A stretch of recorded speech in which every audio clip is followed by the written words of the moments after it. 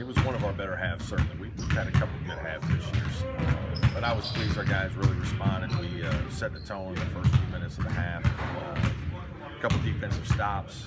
You know, we scored in different ways, got offensive rebound baskets. Uh, we didn't just make shots. We uh, scored off our defense. Guys were aggressive. And, and then we made plays and consistently made them throughout the course of the half and built positive momentum and, and certainly had a, a, lot of different types of baskets.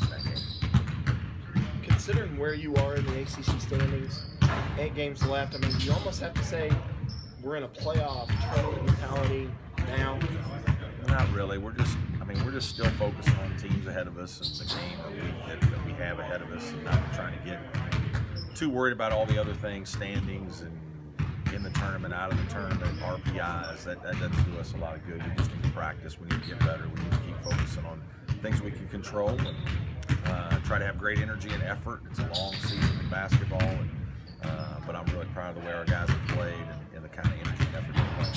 Cassell Coliseum is not exactly the most fun place to play, is it? No, it's difficult. It's loud in there, and, and uh, supposedly they're going to have a maroon out, so I'm sure it'll be a great crowd. And Buzz has got them playing at a very high level, very physical and strong team. They've got some older guys. Uh, they've got a couple good transfers that have really come in and helped their team nicely.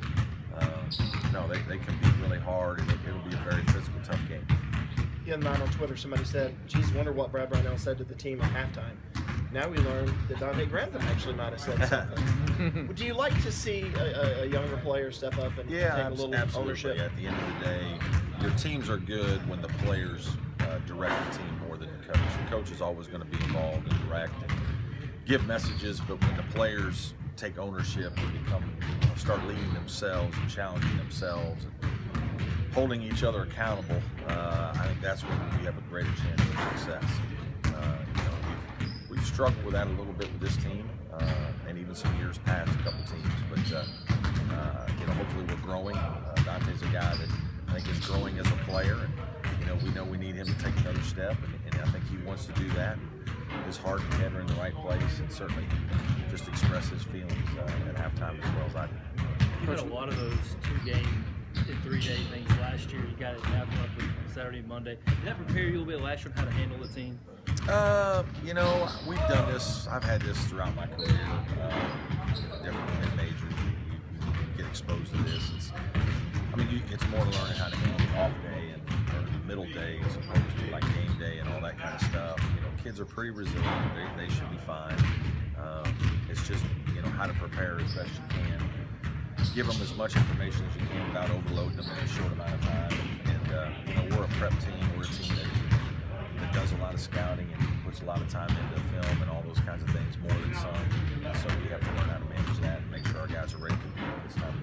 Coach Landry has picked up a couple of cheap fouls early in the last couple of games. Has there been any consideration to starting Sidy like he did early in the season? You know, I've thought about it at times. I don't know if I'll go back to it or not, uh, but it's certainly something that you know, I've thought about. Um, it's a thing that I did a little bit at the, at one time in the year. But, um, you know, Landry's just got to he's got to make some better decisions. Some of them are uh, you know silly fouls. The first foul, Wake went over the back. You can't have that. You know.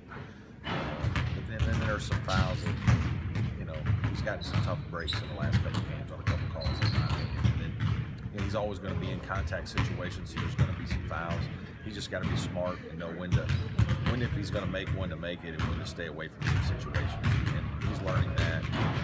Uh, hopefully, he's going to adjust here down the stretch. He's really need on the floor. Despite the quick turnaround, it must be nice knowing you have a three-game homestand coming up around. Yeah, you know what's funny is I don't. Re- I I just saw that here the other day. I wasn't. I don't really get too far ahead with you know how many other games we have and who it is. I'm trying to play them by the week and focus on that. And certainly, you know, somebody may be aware of it. It was Phil. And, um, you know that feels good. Yeah, we three on the road now. We get three coming back. So uh, right now we just need to worry about getting technical.